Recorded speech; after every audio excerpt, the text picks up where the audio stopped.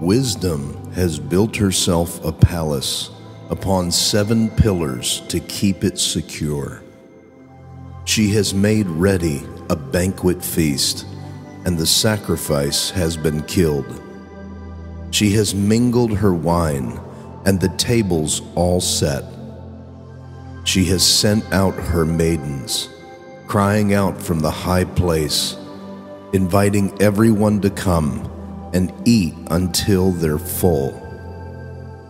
Whoever wants to know me and receive my wisdom, come and dine at my table and drink of my wine. Lay aside your simple thoughts and leave your paths behind. Agree with my ways, live in my truth, and righteousness you will find. If you try to correct an arrogant cynic, expect an angry insult in return. And if you try to confront an evil man, don't be surprised if all you get is a slap in the face. So don't even bother to correct a mocker, for he'll only hate you for it. But go ahead and correct the wise, they'll love you even more. Teach a wise man what is right, and he'll grow even wiser. Instruct the lovers of God, and they'll learn even more. The starting point for acquiring wisdom is to be consumed with awe as you worship Jehovah God, to receive the revelation of the Holy One. You must come to the one who has living understanding.